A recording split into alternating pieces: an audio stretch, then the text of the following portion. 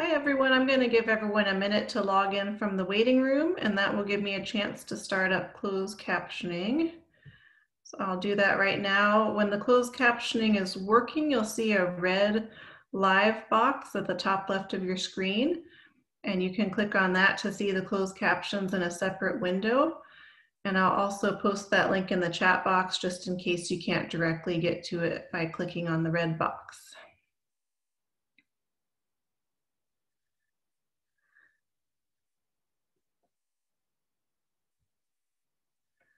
Okay. Welcome everybody. My name is Christy Baglow. I'm the Director of Statewide Training at Florida Legal Services. I'm glad you can join us today for a webinar about guardians ad litem in the domestic relations and dependency courts.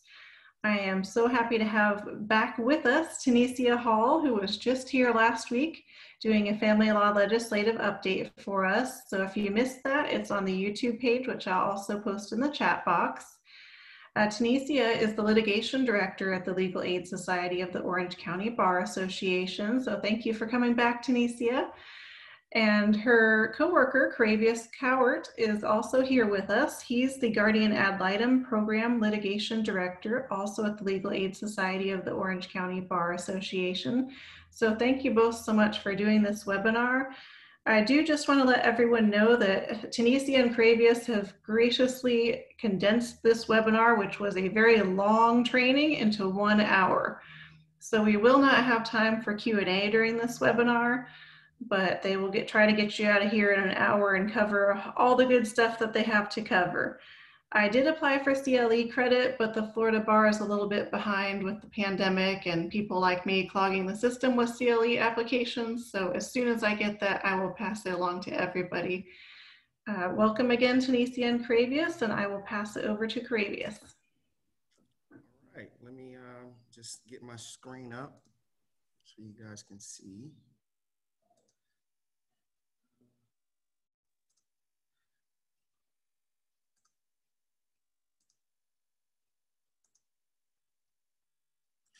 All right, so I'm, I'm going to talk about guardians ad litem in dependency proceedings um, and just a few of the things that we will cover here today. Um, how do dependency cases begin? Uh, GAL appointment, representation models, access to records, and the role of the guardian ad litem. And then finally, I'll touch on appointment in delinquency proceedings um, because a lot of the circuits now have what we call crossover courts, and, and we'll get more into that uh, later in the presentation.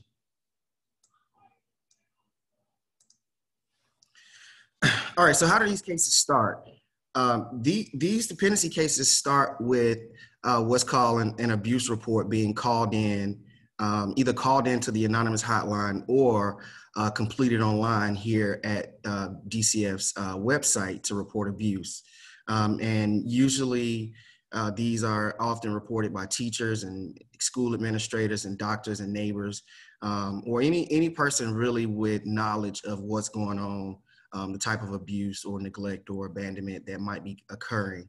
Um, so if you have knowledge um, of these things, you can also report. Um, it, it's not a restriction on who can report. Um, and, and, in fact, they encourage uh, more uh, people to report these, um, these allegations.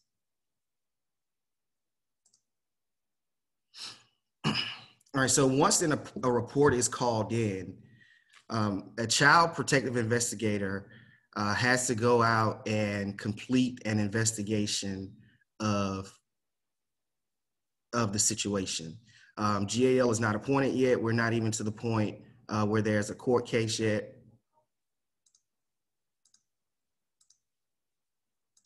Sorry. Okay. Uh, we're not even to the point where there's a, there's a court case yet. So uh, once the investigator goes out and determines whether or not the child is in is in uh, immediate danger, uh, they will make the decision whether or not to, to remove the child. Um, if they decide to remove the child, um, the child is then placed into an emergency placement. Um, that can be with a, a relative, another parent, um, or even into a temporary foster home um, until uh, a shelter hearing occurs. Um, and shelter hearings must occur within 24 hours of the removal of the child. and so at the shelter hearing, the judge then determines whether or not there was probable cause to remove the child. Um, and then, and if they determine there was probable cause, then we have what we have now is the dependency case.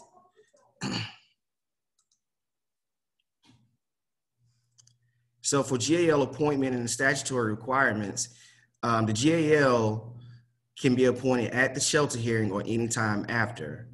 Um, the GAL is also a party to the dependency case.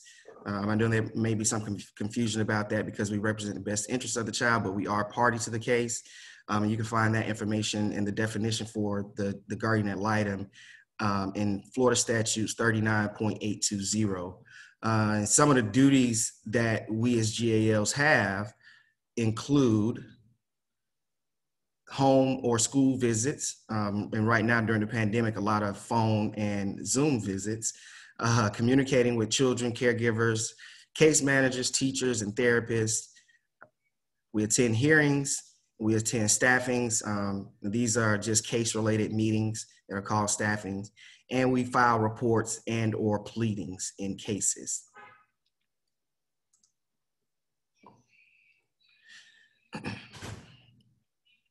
GALs are, are appointed to represent the best interests of the child during the proceedings. Um, and we also report the child's wishes to the court. Um,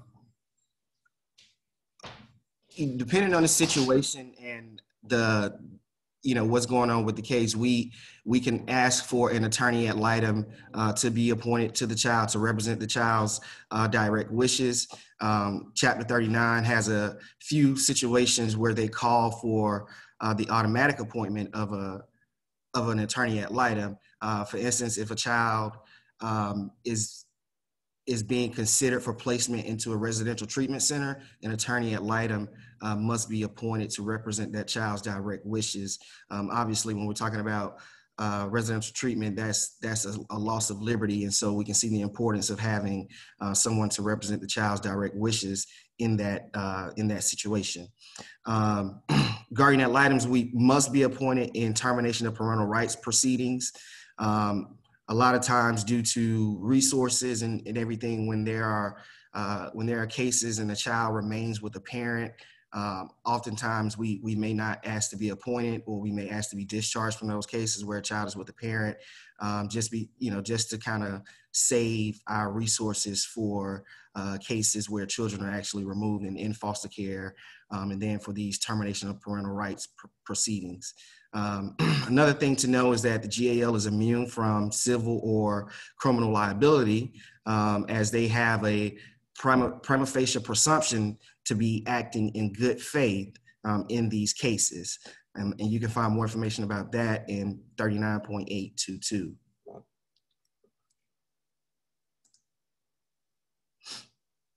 All right. Um, so let's talk a little bit about the different representation models that we have. I know a lot of people on this call are from are not from Orange County. Um, and so we have a statewide model and then we have an Orange County model. Um, under the statewide model, uh, they statewide GAL program uses lay volunteers to serve as GALs. Um, and then they also have best interest attorneys um, that are in the courtroom actually handling the litigation piece uh, for it. Um, Orange County guardian ad litems are all licensed attorneys. Um, and, and the reason for that is that they, they felt that it would be better for the children to have um, an attorney uh, representing them. Um, and the Orange County model has actually been around um, prior to statewide GAL's existence. And so we were allowed to uh, keep that model um, and just contract with statewide instead of becoming a part of the statewide GAL program. and then we have staff attorneys. Um, currently, right now, we have uh, 10 staff attorneys um, in the GAL program. Um, and then we also have pro bono attorneys that we uh, get to take uh, pro bono cases from from us. So at any given time, we probably have anywhere between 250 to 300 uh, pro bono attorneys in our community that are taking uh, GAL uh, cases. So we, we we definitely get a lot of a lot of support from uh, the the pro bono um, attorneys here locally. Um, and then one thing that I did leave off of here that is that we do use lay volunteers, even though our even though our GALs have to be licensed attorneys, uh, we do use and do have a need for lay volunteers. Uh, we call them uh, volunteer advocates for children, um, and we use these volunteers uh, to help us complete home visits with children um, and attend um, some of the out of court uh, meetings. Um, again, a lot of our pro bono attorneys um, don't primarily practice dependency law. Um, and so having that assistance from a lay volunteer really helps them out in the case um, to where they can really focus in on the legal aspect of the case while you have uh, a lay person conducting visits and, and, and taking care of other things for you.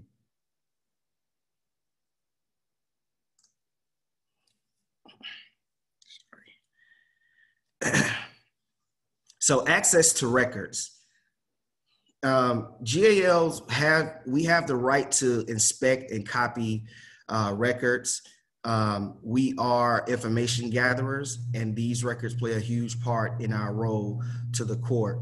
Um, as you all know, uh, we have to provide a report and a recommendation to the court about several things from uh, the child's placement to uh, the child's permanency go to uh, where you know the child's school and and and all these you know other other things and so we have to uh, have access to these records um, and these individuals with these records in order to uh, properly do our job uh, so um, in the school aspect, we're talking about IEP records um, or attendance records.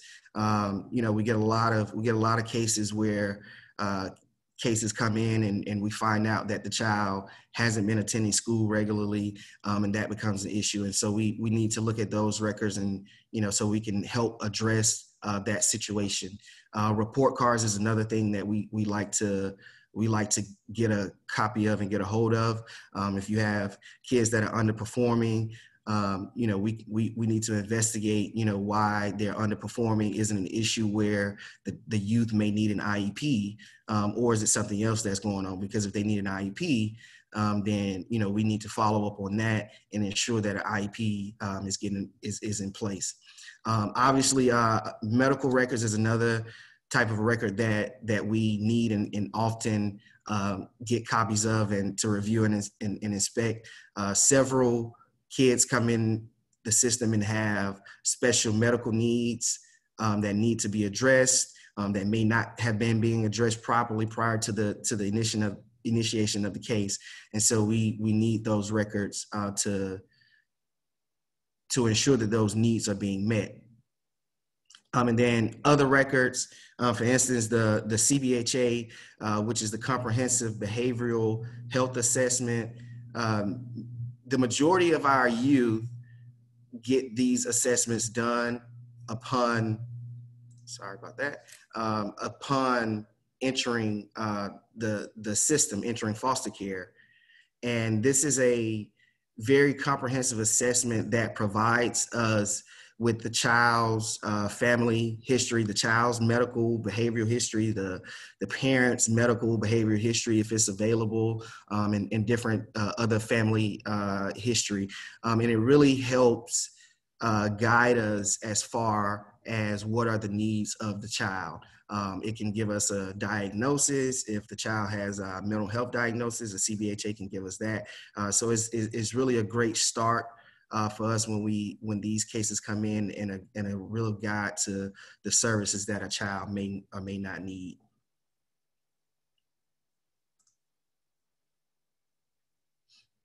All right, the role of the guardian ad litem in the courtroom. Um, as I stated earlier in the presentation, the GAL is a party to the case, um, which means that we file pleadings um, and we can call witnesses uh, to testify. Uh, this is a fiduciary representation. Um, the GAL is present at all critical stages of the proceedings. Um, so that's the after the shelter because we're appointed usually at shelter. Um, that's the arraignment, the, the judicial review, uh, dependency trial, or termination of parental rights trial, um, all the way through an adoption or reunification, you know, depending on the, the goal of the case. Um, and then we provide reports and recommendations to the court.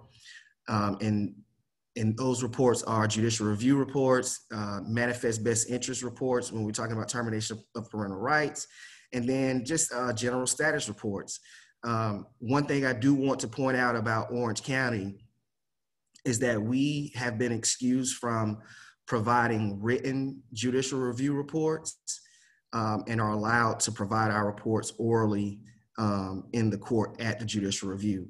Um, however, if if a GAL is unable to attend a judicial review, uh, they definitely can feel free to uh, provide a written report.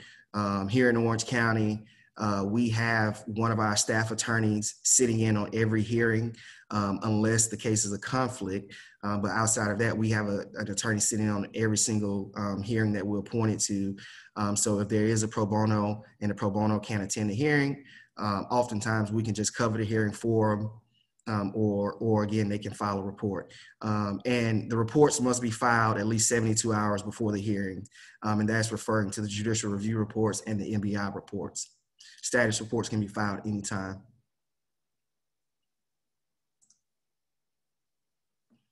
The role of the GAL outside of the courtroom.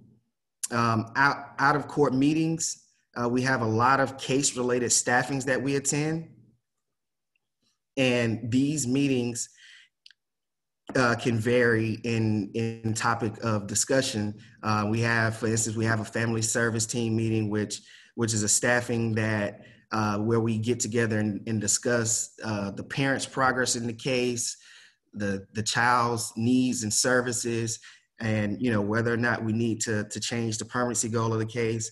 Um, we have staffings that are specific to children, um, such as the youth transition meetings, uh, which are our older youth, uh, 16 and older, who we anticipate uh, that may be uh, aging out of the foster care system at age 18. Um, and, the, and the purpose of those meetings is just to get together and discuss and figure out if the youth has everything they need um, to be an adult when they turn 18, such as a, a state ID, um, a copy of their birth certificate and social security card, uh, making sure they have a bank account um, and taken and have taken a financial literacy course so, so, they can understand about managing their money and their funds.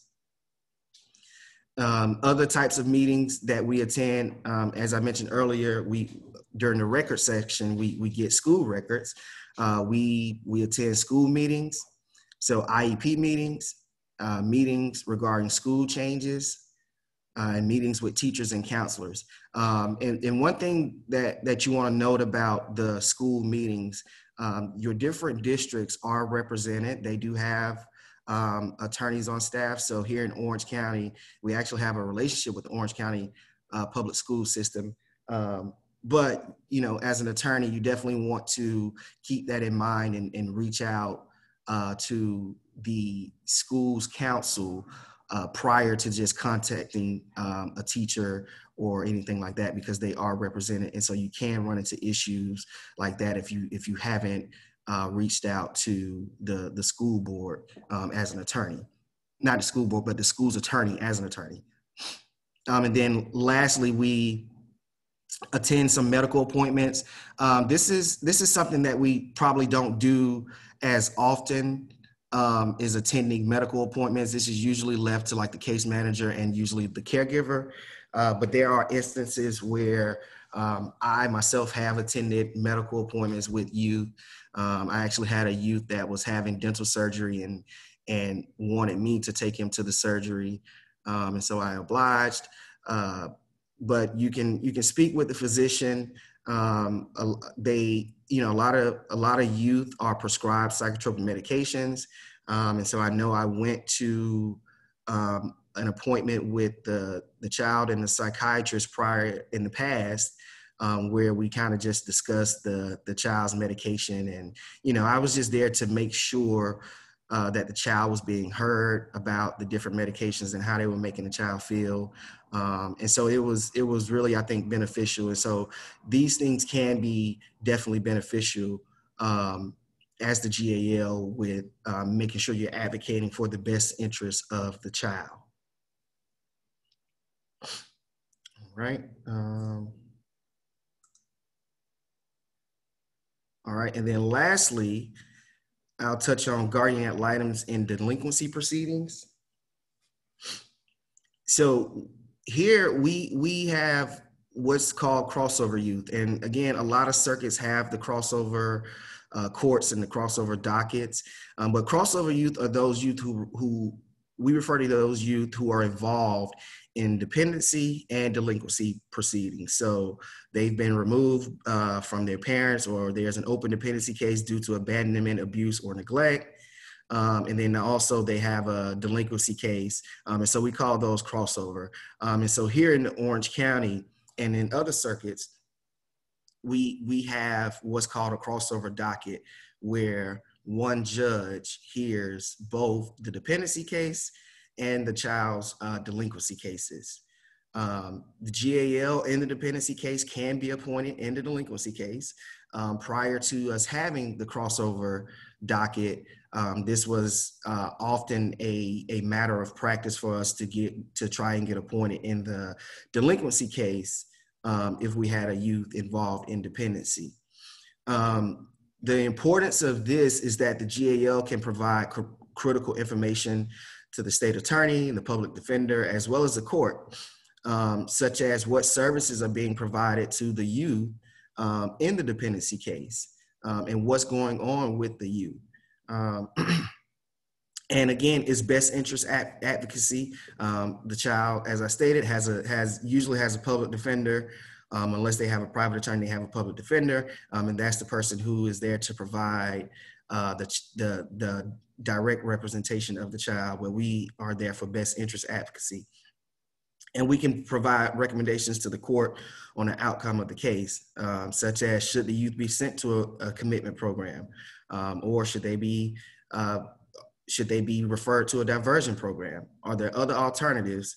Are there other factors to consider? Um, I'll tell you a quick story uh, before I end. I remember being in a training one time in a presenter.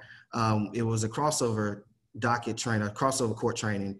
Um, and the pre- presenter talked about a youth who had gotten a delinquency charge um, from hitting a bus, a school bus driver. And you know the the thing about it though the dependency case was there because the child had been abused and so the bus driver had went back to the child's seat to make the child move and the way the bus driver grabbed the child was the same exact way the child was being abused um, that led to the dependency case. So it was a trigger for the child when the child was grabbed a certain way. It triggered the child, um, and in that in that particular case, the GAL was able to provide that information to the delinquency court, um, and it helped the child's case because this wasn't just a youth that was upset and wanted to fight or hit the school's bus driver. This was a youth who had been abused and um, you know, the way they were grabbed was a trigger for them.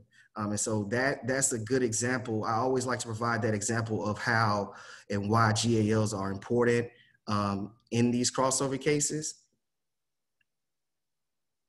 All right, and that is it for me. So Wonderful. Thank you for all that information. I can really tell by your story how much of a difference it can make uh, in the outcome. That's that's fantastic. Now, if people are interested in volunteering for your GAL program, how can they do that? Can you put that in the chat for everyone? Uh, yes, I will put my email address in the chat as well as um, our other volu- our volunteer advocate for children coordinator email address for uh, for lay volunteers. So I'll, I'll put that in the chat while uh, Tenesia is presenting.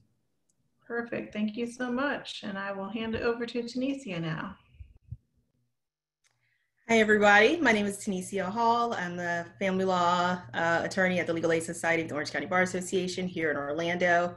And today I'm going to be presenting on guardian ad litems in domestic relations court. Let me start sharing my screen.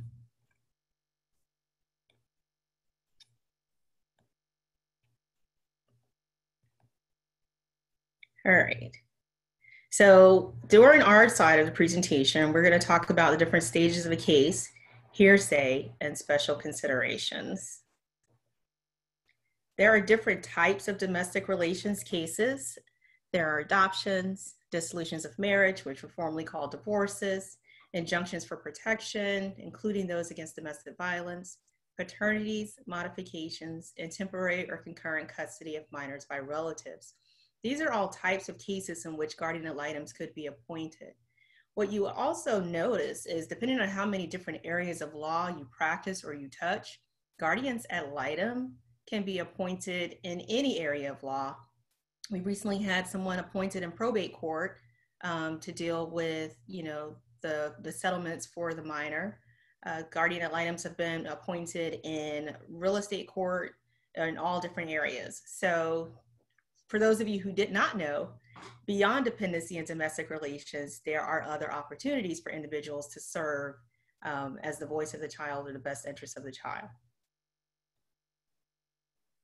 The parties in most domestic relations cases are um, generally going to be the parents, um, parent one and parent two. In some cases, there can be more than one parent, or more than two parents, or more than two petitioners, or more than two respondents. And so it's always best to know when you're first asked to serve as the guardian in a case, who the actual parties are. I always, you know, refer to it as a cast of characters. Who are all the characters in this event? And how are they related to the child? And what allegations have brought forth been brought forth to the court or to the parents to request your assistance in helping the court to determine what's in that child's best interest. Now, once the guardian ad litem is appointed to the case, the guardian ad litem also becomes a party to the case. You do not need to have an attorney represent you when you become a guardian ad litem in a domestic relations case.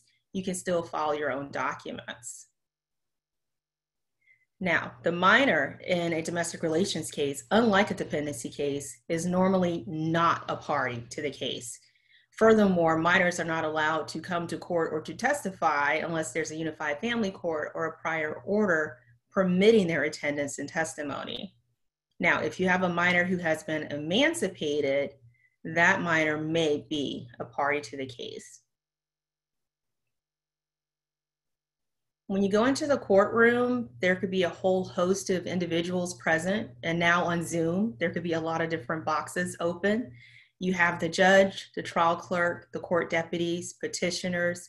If there are counsels for the petitioners, the respondent, counsels for the respondent, guardian ad litems, or occasionally there may be an issue where you do have to secure your own counsel.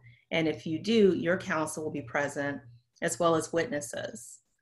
Um, if there's an attorney ad litem present, because a child can have two, the child can have a guardian ad litem advocating for their best interests and an attorney at litem advocating for their wishes and desires. Whoever is related to the case would be present for your hearings. Now, like I said before, you're not allowed to have the minor child into the courtroom. Pursuant to Florida Family Law Rule of Procedure 12.407, you have to file a motion to permit minor child testimony prior to having that child um, come into court. Additionally, one of the issues we're seeing now with COVID 19 is we have a lot of parents who are at home and their children are at home in school, and the parents are in the same room. And so the parent is on one computer or one device having a hearing, and the child is either sitting next to them or across from the room and can hear things that are going on. And in those situations, sometimes we ask the, the parent to go sit in the car um, if it's safe to leave the child in the house, to go sit in the car for the purposes of the hearing, or to go to a, cl- a, a quiet room with a closed door for the purposes of the hearing. Because again, the children still should not be involved and should not be hearing the things that are being discussed. Some judges have taken to the um, notion of not allowing any virtual backgrounds on their hearings and having you swivel your device around the room so that they can see if anyone else is in the room. Now, when you are appointed as the guardian ad litem, you're appointed to make a recommendation regarding the best interest of the child.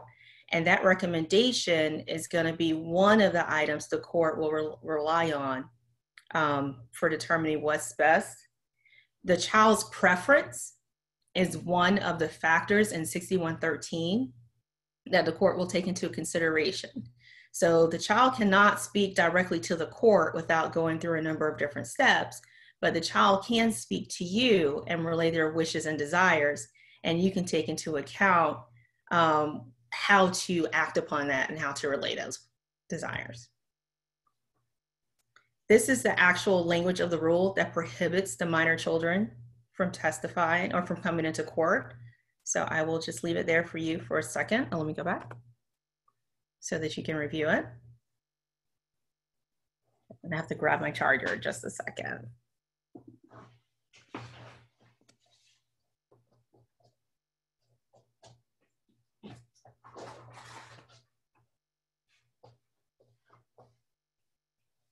That would be another pointer for court, um, especially now that we're doing all these virtual hearings. Make sure your devices are fully charged. We had a client, one, she attended her hearing on a bicycle, so that was a big no no, but her phone actually died halfway through her trial. And so she was unable to participate in the second half of the trial. The case continued without her. Thankfully, there was a favorable outcome. So, this is a prohibition against having minor children testify or be present in court. It also talks about related proceedings. You heard Coravious talk about unified family court previously. If the rules of juvenile procedure or some other rule allows the child's um, second case or companion case to be heard concurrently with your case, then obviously the child would be present in the hearing for that. Also, with uncontested adoptions, children are allowed to attend uncontested adoption hearings. Now, there is a pro se motion and order for testimony and attendance of a minor child at court that you can find at the Florida Supreme Court website, flcourts.org, under family law forms. There's a draft order, and then the link to the forms is here in the PowerPoint, which will be shared with you um, tomorrow when Christy sends out an email to all of the attendees. There are different stages in domestic relations court. You heard Coravious talk about uh, dependency court stages, shelter hearings, judicial reviews, TPR advisories. In family court, um, we have pleading stages, we have discovery phases, we have mediations, and we have trials. So, with our different steps, we have petitions, we have answers, or counter petitions. There's a parenting class requirement for any case in Florida that has children involved, they have to attend a parenting class within 45 days. Not the same class. It has, doesn't have to be uh, in person or online. They have that option, and it's four hours long. It's not like the intensive 24-hour class that they may have to do in a dependency case. This is a four-hour class that they can take over the course of four four weeks if they want to, at their own leisure until they get their certificate of completion. There's a mandatory financial disclosure requirement under Rule 12.285, where there has to be a, a, certain exchange of financial affidavits and financial documentation to help with uh, support issues or property issues. Discovery is our investigation phase. The parties would have to go to a mediation, which is a settlement conference, which is a neutral third party. If there is a guardian ad litem involved in a case at the time of mediation, the guardian ad litem would be expected to participate in that mediation as well as in the discovery process, um, and as well as any hearings, trials, or final hearings. The guardian ad litem would be um, expected to participate and to file recommendations. Now, a guardian ad litem is appointed when there are allegations of abuse, abandonment, or neglect. Um, a guardian ad litem can be appointed to determine whether or not relocation is in the child's best interest, whether or not the child's you know gender should be changed. You can be appointed on very specific issues, or you can be appointed to rec- make a recommendation in the totality as to what's in the child's best interest. So always review the proposed order of appointment, and if you have it, the motion for appointment for guardian ad litem to see what exactly you're being tasked with have a retainer meeting with your um, parties. Even if you're not you know getting paid if you're doing it on a pro bono basis or through your local legal aid legal services you should still have the parties sign a retainer agreement. Not saying that they should be paying any cost but there should still be a document to let them know who you are what you do and to clarify with them that you are not their attorney. You are not representing them. You are not the child's attorney and you are not representing the child you are there to investigate the issue that you have been appointed to investigate and to speak on the best interest of the child. Once you're appointed, you're going to do an acceptance of appointment, notify all the parties that you're involved, and then you're going to start combing through the court file to see, you know, the the procedural history of the case. You're going to set up meetings with the parents and meetings with the child, maybe teachers and doctors, depending on the issues, so that you can have a clear view of what's going on because you don't want to start your appointment as a guardian ad litem with any type of bias. Now, Florida Statute 61.401 deals with the appointment of a guardian ad litem, and it states that in an action for dissolution of marriage or a creation, approval, or modification of a parenting plan. If the court finds it's in the best interest of the child, the court may appoint a guardian ad litem to act as the next friend of the child, investigator, or evaluator, but not as an attorney or an advocate. So remember before I mentioned there's a difference between a guardian ad litem and an attorney ad litem. The attorney ad litem would be an attorney or advocate for the child. Now, next we're going to talk about 6113 2B, which states what the parenting plan must have.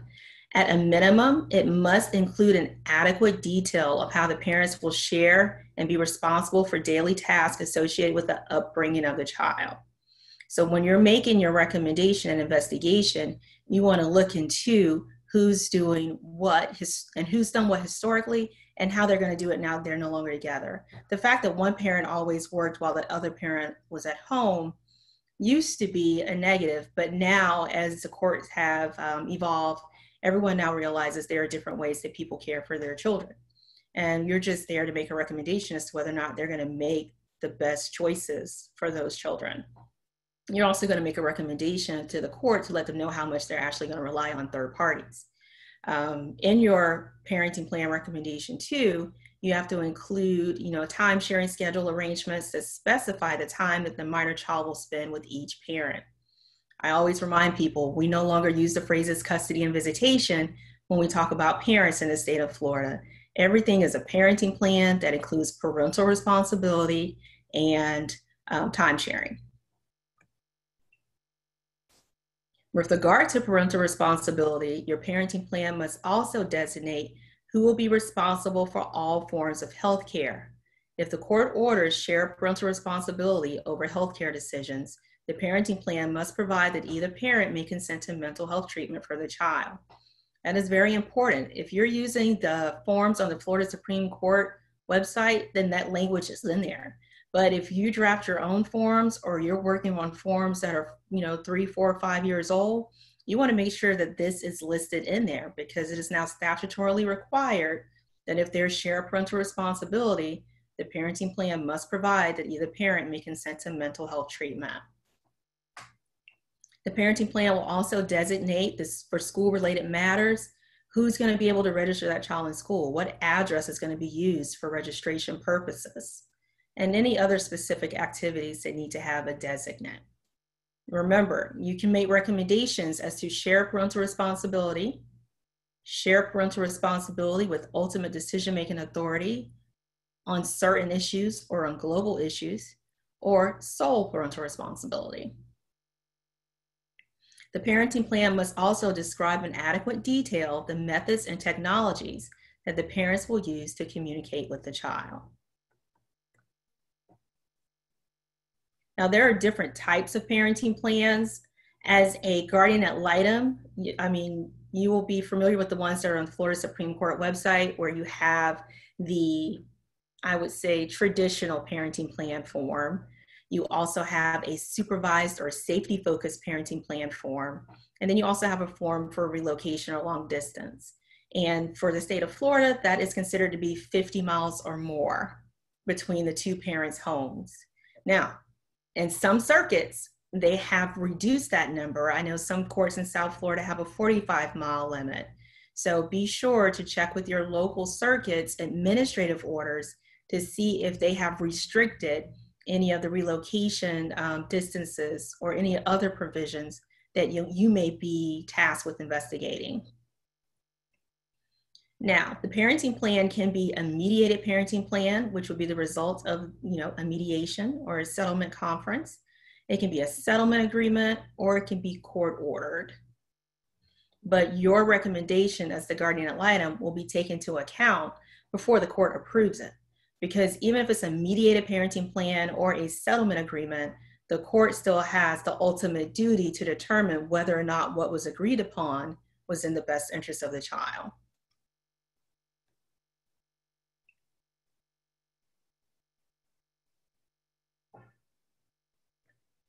So this is just more information on the different types of court hearings you may come across as a guardian ad litem.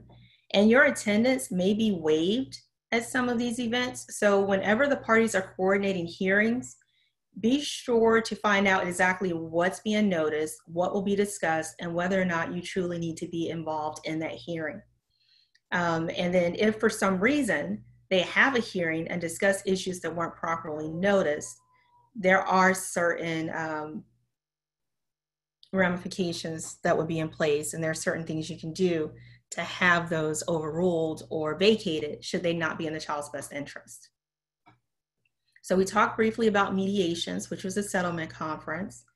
And then depositions are Q&A sessions on the record in front of a court reporter. Now we're doing them all through Cisco or, you know, Zoom, but generally it's when the, the parties go, they sit down with the opposing counsel, and opposing counsel can pretty much ask any question remotely related to the case.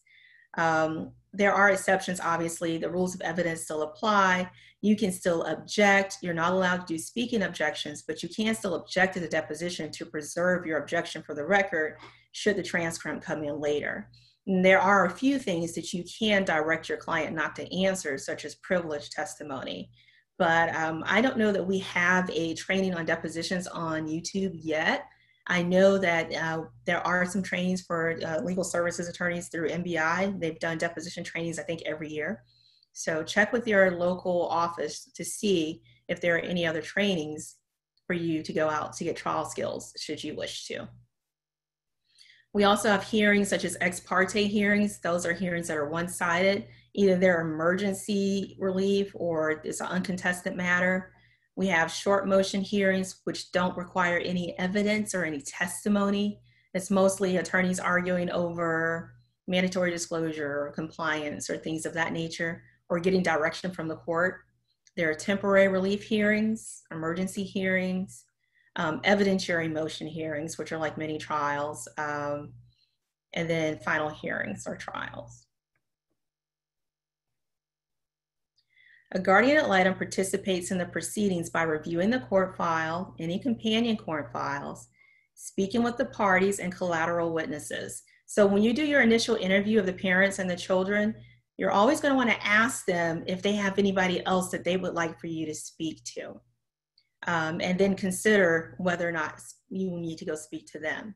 When you get the names of any witnesses, get their addresses, their phone numbers, and their emails and then ask the person who's providing that witness information what exactly that witness can testify to. Um, and then that will let you know whether or not you need to have an extensive uh, contact with them or just a collateral contact. If there are educational medical issues, be sure to review the education and medical records. Um, make sure that you're participating in all settlement negotiations that deal with the children um, and that you're attending any hearing regarding the minor children, regardless of what, you know, the hearing is titled. Hearsay is a big one um, for us in domestic relations court because unlike family court, hearsay, uh, well, unlike dependency court, hearsay is an extreme barrier to uh, guardian ad litems in family law court. So my uh, pointer for everybody is if you're going to serve as a guardian ad litem in a domestic relations court, have a hearsay waiver included in your order of appointment. Florida Statute 61.403 sub 5 states that the guardian ad litem may address the court and make written or oral recommendations to the court. The guardian ad litem shall file a written report which may include recommendations and a statement of the wishes of the child. A statement, of course, is an oral or written assertion, nonverbal conduct. It's given by a declarant and is considered to be hearsay because it's going to be offered out of court to prove the truth of the matter asserted. So Florida Statute 90.801 is the hearsay definition. The dilemma is guardian ad litem reports and testimony are significantly based on hearsay. Hearsay from the child, hearsay from collateral sources, document reviews, and neither Florida Statute 61403 nor the Florida Evidence Code waive the hearsay exception for a guardian ad litem. Scaringe versus Herrick stated that when a guardian attempts to testify to hearsay statements and a valid hearsay objection is raised, that objection is, should be sustained. Thus, great portions of the guardian ad litem's report and testimony could be excluded based on valid hearsay objections. The solution to the problem, again, is to make sure to obtain a hearsay waiver in both the order of appointment and your retainer agreement. Determine whether to use a limited waiver or a blanket hearsay waiver. Here's an example of a limited waiver of appointment. It states the parties and their respective counsel agree to waive hearsay objections regarding the guardian ad litem's testimony and written reports only as it pertains to school personnel, including but limited to teachers, guidance counselors, and principals, the children's healthcare professionals, including but not limited to pediatricians and treating medical professionals, but specifically excluding the child's therapist. There's a whole host of litigation when it comes to whether or not you can have testimony admitted from a child's therapist. Whether each parent can waive that, whether the child needs an attorney ad litem appointed, that's a whole nother issue for another day. Just know if you come to a point to where your child that you are investigating the best interest of is currently in therapy, to speak to your local legal services agency regarding any um, obstacles you may face in getting that therapist recommendation into the record. Um, and then for the limited waiver, of course, you always want to include the child's statements. Hearsay objections to all other individuals here could be preserved. A blanket waiver would be um, something like this.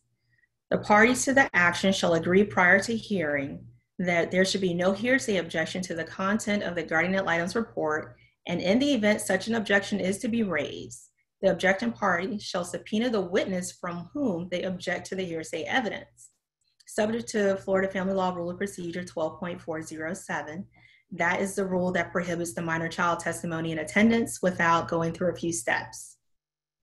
In this blanket waiver, it further says that the guardian ad litem shall list the names and addresses of the persons interviewed whose statements they have repeated or summarized in the report.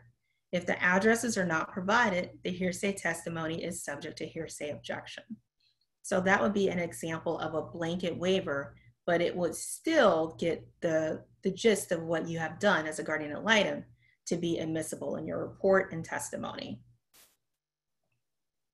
So for your retainer agreement, again, choose whether or not to use a limited waiver or a blanket waiver choose whether or not you're going to limit that waiver solely to information you get from the child or information you get from the child, the school personnel, the healthcare professionals, or the blanket waiver. The sample language for the retainer agreement is similar to the language we just read in the order. And again, this will come to you tomorrow in your um, emails.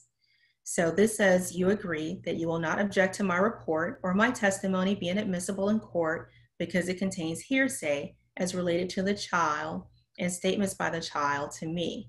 You acknowledge that I have been asked to serve as a guardian ad litem for the purpose of investigating issues involving your child and that it is in your child's best interest to permit my report and testimony to be introduced into evidence despite the fact that it may contain hearsay. Now remember, even though you are waiving the hearsay objection uh, in this, you are not necessarily waiving the guardian ad litem's bias or any other impeachable um, information, or you're not waiving your disagreements with the report and recommendation. Special considerations. If your case involves domestic violence, substance abuse, mental health, or parental alienation, you want to make sure um, to talk to someone who's familiar with those dynamics to see how that can make a change in your recommendation. You could be dealing with a, a parent who has PTSD as a result of domestic violence. And from the outside looking in, that parent could be neglectful or depressed or sleeps a lot. But if you're speaking to their mental health professional, you may notice that is PTSD as a result of the abuse. And, you know, maybe family therapy can assist or um, some other types of interventions can be in the best interest of the child. Also, on the line of therapy, want to let you know if there is domestic violence in a relationship, family therapy between the batterer and their abuser rarely is successful. And most times, the abuser needs to have individual therapy first, and the victim would need to necessarily have individual therapy first before even considering any joint therapy. Otherwise, family therapy can just be used as another way for the abuser to exert power and control over the victim. They learn more triggers and they can use those triggers against the victim should they reconcile. Or if they're going to be co parenting for the next 17 and a half years, um, they could use that information against them over and over again. With domestic violence, there is a power and control wheel that we all use. Um, the website is listed on the PowerPoint that you will receive. It's the Duluth model. There are a lot of different um, wheels on the website now. There's one for immigration, there's one for power and control, there's one for um, culture, and uh, one for using the children. On all of these wheels, they have different slices um, and different examples of what domestic violence is. Domestic violence isn't always physical. There are different types, and you will find examples of those types on the wheel. There's also a wheel there, um, post-separation power and control, which is uh, different forms of how a parent uses a child um, in the separation against the victim. There are examples such as disputing relationships with the children, um, always telling the children that the new paramour is bad or evil or ugly or you know something of that nature. Um, having fraudulent claims of uh, sex abuse or threatening to kill or kidnap the children using harassment. There are a bunch of different things that you may hear you know here and there and think oh you know this is serious or this is nothing but when you take the totality of the statements that you're hearing when you go back and read your notes and start forming a picture the case may or may not have been identified as a case with domestic violence in the beginning, but as you do your investigation, you may notice more of these pieces fitting into certain wills. This will is also, of course, included in your PowerPoint. It includes you know, withholding financial support, which is another reason why, as a guardian ad litem, you're not going to make a recommendation as to child support, but it's another reason why I always like child support to go through the state, because that's just one other piece of power that you're taking away from a batterer. So I think I made my time um, regarding uh, guardian ad litems in domestic relations cases. I did, and I just want to um, go back and see if there's anything else. Let me check the chat real quick. Thank you so much, Tenesia. I put a link to the uh, model you were showing there, the Duluth model, so everyone can access that. And make sure you check out Tenesia's presentation from last week if you missed it. And there was also one yesterday about child welfare online resources that goes well with today's webinar. And in case I have not webinared you out this week, there's one tomorrow at noon. It's a Florida budget and policy roundup, uh, specifically regarding things that legal aids may be interested in, and that will be done by the Florida Policy Institute. So I will put that right here in the chat. So that's tomorrow at noon. Thank you so much, Tenesia and Coravious. That was fantastic. I don't know how you got it all into an hour, but it didn't even feel rushed. Lots of great information. Thank you. And for those of you who haven't seen it yet, there is, I believe, a four hour um, CLE that we did on this very topic and we went into more detail, including breaking down how to make different recommendations on the factors. All of that is on um, our website, the Legal Aid Society of Orange County Bar Association. And I believe, Chrissy, you may have it on your YouTube page, or if not, it's definitely on the statewide Guardian ad Litems page. Okay, and I'll get that link from you and put it in the follow-up email. So everyone who registered today will get an email with uh, the recording and I'll also put the PowerPoints in there. Uh, and Coravious have agreed to share those with everybody. Uh, someone in the chat asked if there's a way to get a certificate of completion. Um, the Florida Bar just requires self-reporting, so I'm going to trust you all to be grown-ups that you watch this webinar all the way through. Um, that's something that I can um, say too. The difference is um, in the state of Florida, anybody can serve as a guardian ad litem um, with the proper training. Uh, and if you are an attorney uh, through the Florida Bar and you wish to serve as a guardian ad litem, you do not need any other training in order to serve as a GAL. But if you are another professional and you want to serve as a guardian ad litem in domestic relations, you generally have to be trained by a um, approved source, such as a legal services provider or things of that nature. So the person asking about certificate of completion may be along those lines because I know that's a, a, misconception. Most attorneys don't know, or newer attorneys to guardian ad litem work don't know that you you can serve as a guardian ad litem just by being a Florida bar member. We would love for you always to have training and to look at the trainings. We would love that. Um, but uh, with your bar card, you can serve as a guardian ad litem. I'm glad you clarified that, and I'll definitely, uh, Coravious typed in the volunteer contact info, and I'll also put that in the follow-up email so everyone has it. Yeah, and I just put the link, the Vimeo is the link to the four-hour uh, training that's in, did earlier. Thank you. So if anyone has burning questions after today, you got your four-hour training to get it all covered.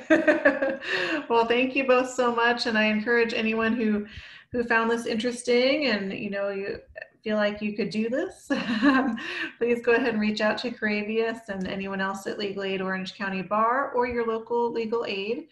I'm sure they all could use help with these cases. There are a lot of kids out there who need your help. So I will put that information in the follow-up email.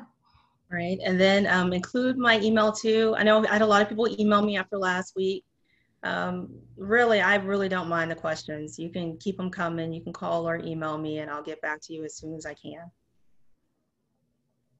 All right, thank you. That's very generous of you. I know you're a tad bit busy over there, so I really appreciate you doing both of these trainings for us and being willing to follow field follow-up questions. So thank you both so much for doing this, and I hope everyone has a good rest of their afternoon. Thank you. Bye. Bye.